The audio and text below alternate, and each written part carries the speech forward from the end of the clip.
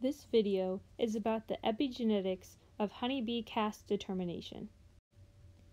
Before we delve deeper, first let's ask ourselves, what is epigenetics?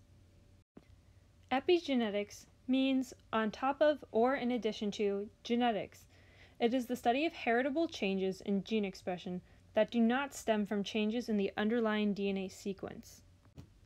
A good example of epigenetics in action is in the caste system of Apis mellifera, or the western honeybee. There are three castes of honeybee workers, drones, and the queen.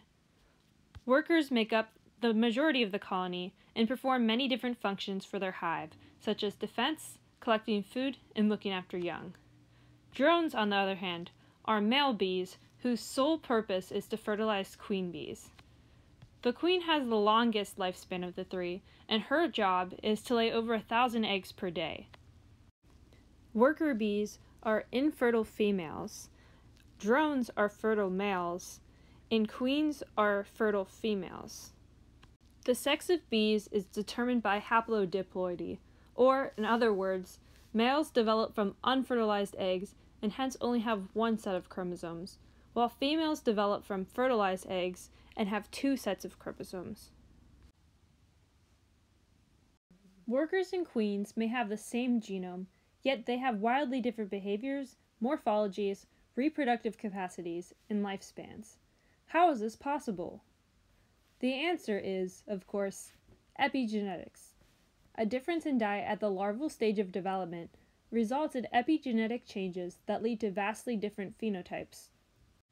The first stage of development is a totipotent fertilized egg, which at this point can grow up into a worker bee or a queen bee. Next, the egg will enter into its larval form.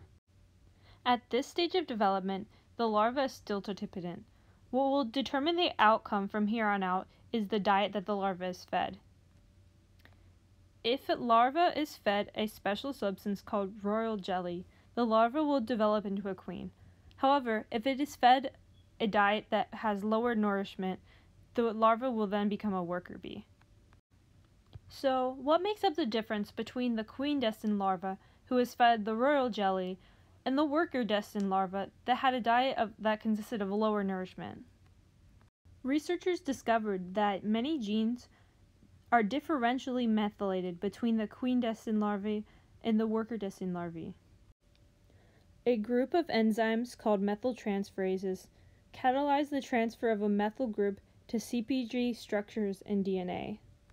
Compounds present in the royal jelly lead to differential DNA methylation, as well as potential histone modifications, which results in completely different phenotypes.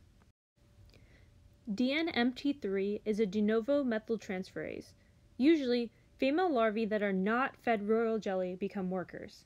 However, when DNMT3 is silenced, they will develop into queens with fully functioning ovaries. This example demonstrates how epigenetic changes can have a major impact on phenotype. Thank you for watching.